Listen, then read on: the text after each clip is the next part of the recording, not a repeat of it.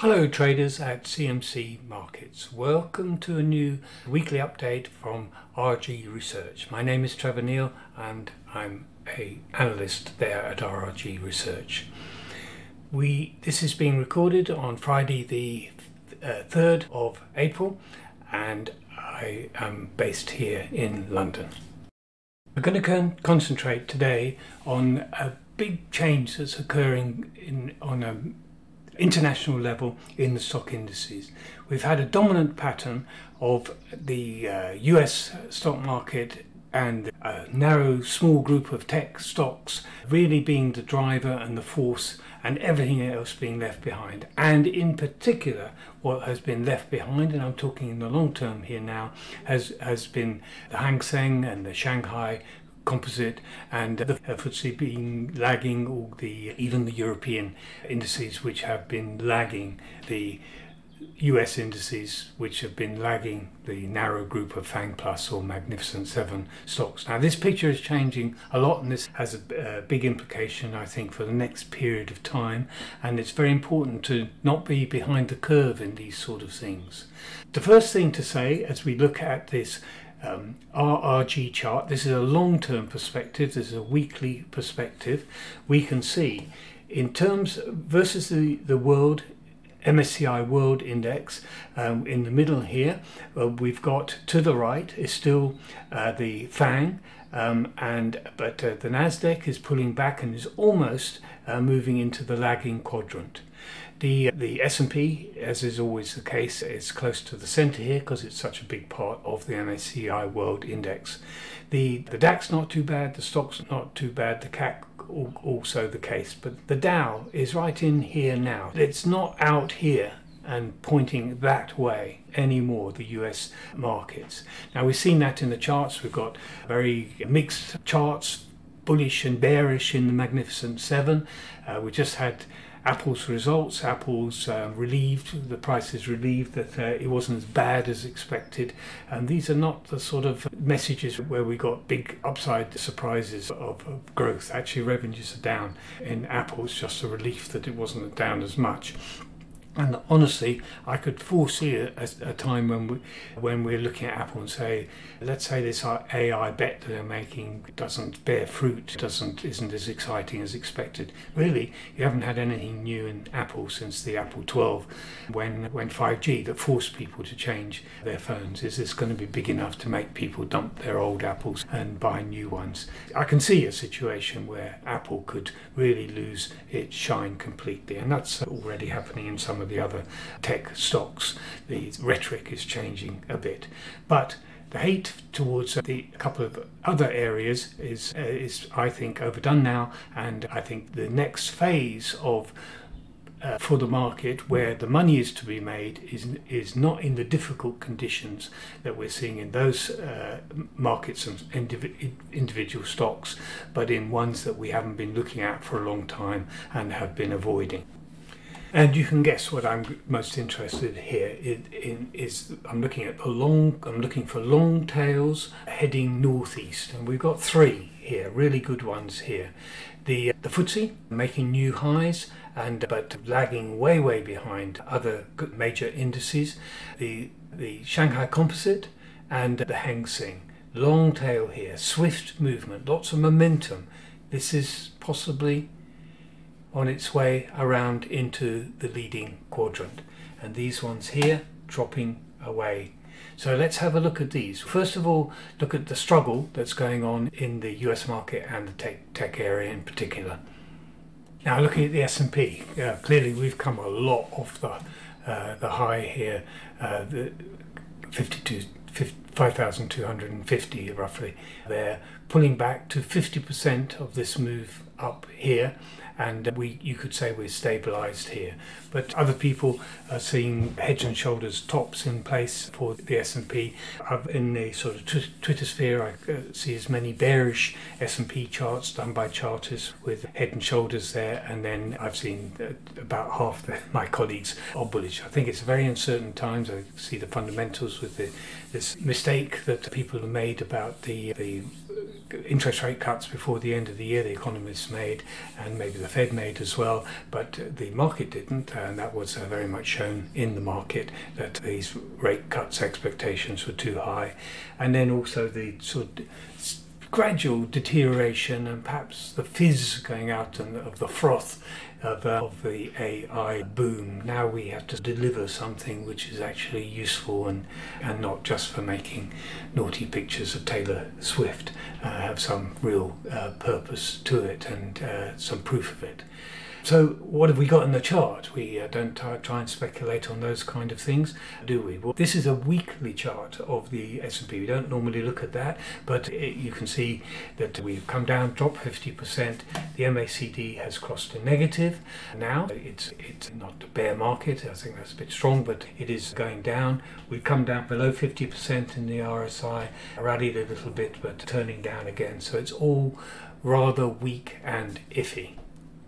So the Nasdaq, um, tech heavy Nasdaq, has been hit even harder with a 61.8% uh, retracement. Stabilizing there is true, but heading towards potentially stiffening resistance in this weekly chart here.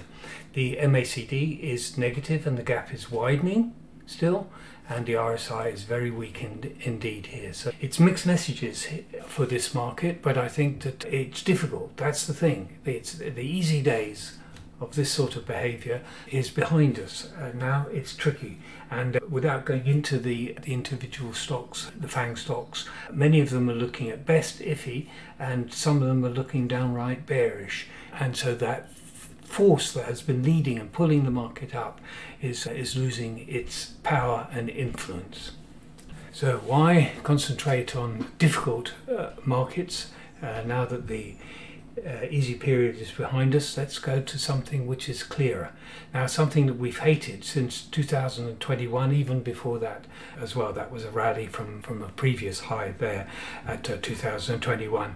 The It's been in a downtrend and in, on a relative basis, been absolutely appalling behavior. It's been a leader, it's been in the lagging quadrant heading southwest for a long period of time. It's just on a you know better being in anything else but the Hang Seng. But look here now. We saw um, how it swiftly swung round in the uh, RRG chart, long tail going round through the improving quadrant, heading towards the leading quadrant. And we've got a major long-term trend change taking place. The MACD, and this is where I first uh, mentioned it, was in February, as, as crossed up, but now we've finally taken out the downtrend line. And this is a real beauty. So this is a weekly chart, and we've got lining up extremely well. One, two, three, four, and now this breakout here. It's a powerful break, and I think this is a seismic change in direction. This is the area to be in, and all those stocks that you've forgotten are, uh, are things to look at again. So here is the Hang Seng on a daily chart. There's that long, long downtrend line, broken, very powerfully broken. We've got uh, now support at these two highs at 17,000, the round number, 18,000, the round number is also uh, support for us. The MACD, the gap is widening, the momentum is increasing, the RSI is soaring ahead. Yes, it's very high, but it is still pointing up. If it pulls back, then I think it's going to be around 18,000 that it could settle, and you would want to, you might see that as a, some sort of opportunity, if, depending on the behavior um, of it. But at the moment, it does look as though it's moving uh, forward, and then if I bring in some more history, we can see that the next resistance is at basically 19,000. It's quite strong. Uh, a break of the uh, 20,000 would be very good, and it all looks as though we're on our way up very strongly here. So, this is a big change from something to avoid to, to something which is taking the position of leader. So the Shanghai Composite also turn, turning around and moving up strongly on a relative basis. Notice how it was moving in in very similar way to the Hang Seng. However, its downtrend line started after after the three tops that we had. The first one in 2020, up at the 3,750 area, one, two, three tops in place. Then downtrend. I've drawn this as dashed because it's not a very well drawn trend line, but clearly we have got lower highs in place place in here, and we are way below it at the moment. And we're moving towards quite stiff resistance from 3200 to 3400 area. The MACD on the weekly chart is bullish and the RSI is also bullish as well. But you can see comparing this with the Hang Seng the one which is a clear winner in the chart construction is the Hang Seng. And uh, it's broken the long-term downtrend. It's on its way. It's got power behind it. And uh, yes it's it's strong and it probably will pull back at some point but these should be could be interpreted as as opportunities. And the trend on an absolute basis and a relative basis has turned strongly up. So of the two the preferred one to be involved with is the Hang Seng now this is a long-term chart going back to the end of 20, but uh, this is the break to new all-time highs. But really the big break occurred from this ascending triangle that we talked about a lot of, at the time. Uh, once it broke through the 7,500 or 7,700 area, uh, this was a surge towards the resistance, then it failed, pulled back, and now it's cleared it. It's very looking extremely strong at this point. The MACD is doing the same. Notice the higher lows in place here. That's a very strong structure. Gap is widening as well. RSI is strong. So just magnify in a little bit. So the this is the daily chart still, but um, magnified on the on the. There is support at 8,045, 8,000 round number probably is the big support, then at 7,800, then the top of the triangle, and this is really very strong support at uh, 7,730, uh, and they've got higher lows in place here. We can draw in, and I'll do it now live draw it in this nice uptrend line here. So all technical analysts can use this, but we, at this moment we've got strong upside momentum with the the MACD very positive here and the gap widening and the RSI pushing ahead strongly again here. Little pause seems to be over at this point. Short-term support is here at 8,100. We haven't got any resistance because it's all, it's new all-time highs. So the dog that we always were avoiding any index except the FTSE. This has changed now. It's in a bull market. It's got a lot of catching up to do. So there's quite a lot of potential for this. I can't say where it, it's likely to get to, but it's in blue sky and it, uh, it's got, it looks as though it could move much further up from here. But of course, all these journeys are zigzags and some zags are quite powerful. If we get one, then I think the support will come in at 8,050. Okay, thank you very much indeed, everybody. I hope you find this useful. Just one message today for me is that the not to say you abandon the U.S. stock market or anything like that, but if but the clear dominance of the the FANG stocks or the magnificent stocks has has really broken up now completely. It's debatable whether the uh, the US stock market as a whole is putting in a top. Um, there's mixed opinion amongst my colleagues about that.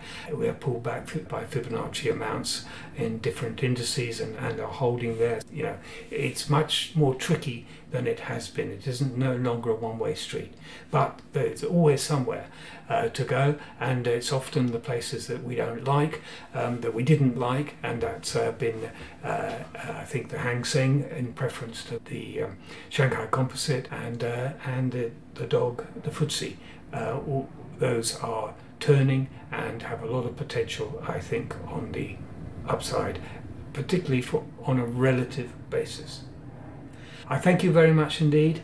I hope you find this useful. This is Trevor Neil from RRG Research. Thank you.